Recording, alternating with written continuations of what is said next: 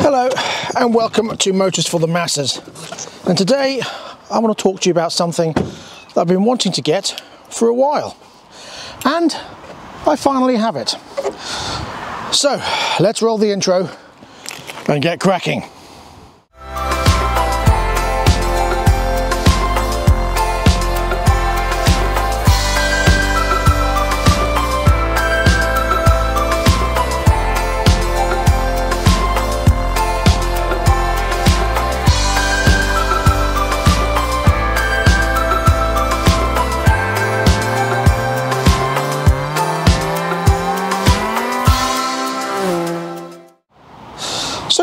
Been after for a while? Well, as you know, myself and Malcolm went to Wales to do some enduro riding with Mick Extance in the Welsh mountains. We got wet, we got muddy, but we had a massive amount of fun. And since then, I thought I need enduro in my life. So I joined the TRF. I am in the Norfolk and Suffolk TRF and then I went for a hunt and I found what I was looking for.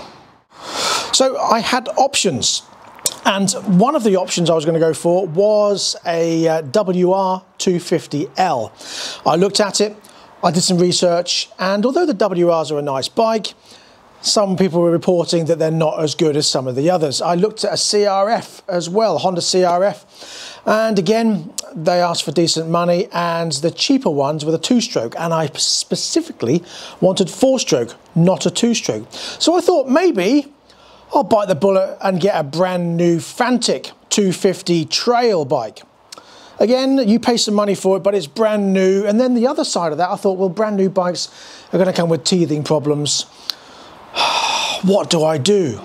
And then I came across this bike. So let me introduce you to what I've got. It's this. What is it? It's a KTM EXCF 250. Now, the reason why I went for a KTM is because it's KTM. I mean, these have been doing this style of riding off-road and enduro for a very long time, and they're very good at it. And I don't think I can go far wrong with it. Now, I didn't pay a lot of money for this. Um, it does need a little bit of fettling. It has started and it does run. At the moment, it won't start because it needs a new battery. So, for example, that. Um, sounds like I just farted. Um, and um, it also needs the carb strip because the fuel has been in there for about two years. Um, when I picked the bike up, it does run and uh, I put the battery booster on it and it does start and run. So I'm happy with that. There's no knocks, noises from the engine. Very happy with the way it runs. However, it does need a carb clean. It does need fresh fuel. It needs a new battery and a headlight unit because it's got a crack in it. But there you go. It's only done 68 hours. Not a lot at all. And I'm very happy with what I've got. Of course, I'll make it mine because I shall just change my number to 22, of course, because that's my number. Um, but yes, I'm very happy indeed. Don't mind that. Someone just fell over probably. Hopefully they didn't die. Um, what it has got as well is a gel seat, and that is something I'm very pleased about because when you're doing enduro riding, you get a bit of uh, knocking and bumping on the old posterior. Um, it's road registered, it's ready to go, and I'm very happy with the purchase. Have I said that already? I think I have. The bike has been fitted with a new shock and spring, and it's got new tyres on it, and they're Michelin AC10s, I believe. Michelin Cross AC10s, yes, very good off-road tyre. Certainly should get me through the mud quite nicely. And new discs and pads as well. Why did I go for a 250? Well, I'm new to Enduro.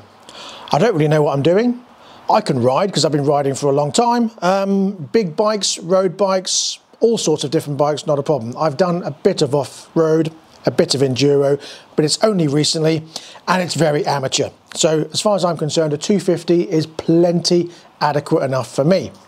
I didn't want a two-stroke because I don't want to mess around with the um, the oil and petrol mix um, and I didn't want the expansion chamber um, I didn't want the the noise mostly I can't stand the noise of a two-stroke Some people love it. I, for me, bing, ding, ding, ding, ding, crazy frog doesn't do it for me at all. I much prefer a, a raspier wow sound to the exhaust.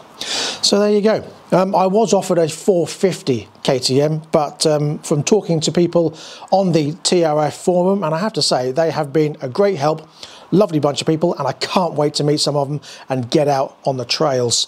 Um, but yeah, the 450 was just a bit too powerful, and I just don't need it. So here it is, the KTM EXC F250. Very happy with it. What do you think of that? Let me know in the comment section below. Do you do Enduro? What bike do you do it on? Do you enjoy Enduro? What got you into it? And what bike do you have? I've already mentioned that. I'm excited. Can I tell? Can you tell? See what I mean? I can't even talk now. I feel like a kid at Christmas. Let me introduce you to my helmet. Not that one. Now, you may or may not know that uh, this is now bike number 12 in my fleet. and this is helmet number 17. Yes, I like helmets. So, I don't have an enduro style helmet. So I thought I'd treat myself. And what have I gone for? Well, it is an HJC C80 flip helmet. I love the design of this. I love the feel of it. It's very comfortable. Now this is an XL. Now I'm an XL in my Lightning McQueen helmet, which is an HJC RPHA 11. Um, and I'm a large in my HJC Balion flip helmet, but that's the carbon fiber one for the road. This, I like the idea of a flip because then you can just flip it up and have a conversation. Um, it's still got the sun visor if you want that or if you need that. And it's got the peak as well and the pin lock. You can't beat a bit of pin lock, especially when you're out in the winter. So there you go. What do you think of that? Um, 200 and something pounds is what they are. Um, but yeah, a very nice helmet indeed. I know, I know it doesn't match the bike. Bit of a dilemma for me because I do like matching things, which is why I have 11 bikes and 17 helmets and six jackets and five pairs of boots and all that kind of nonsense. But there you go, I like the helmet and I don't mind the colour. So what do you think of that? Let me know in the comment section below. What helmets do you use on your bikes? What equipment do you use? Do you have a specific enduro style jacket? I'd be keen to know what you've got equipment wise because at the moment I don't have a jacket that's enduro specific. I don't have trousers and I don't have boots that are enduro specific.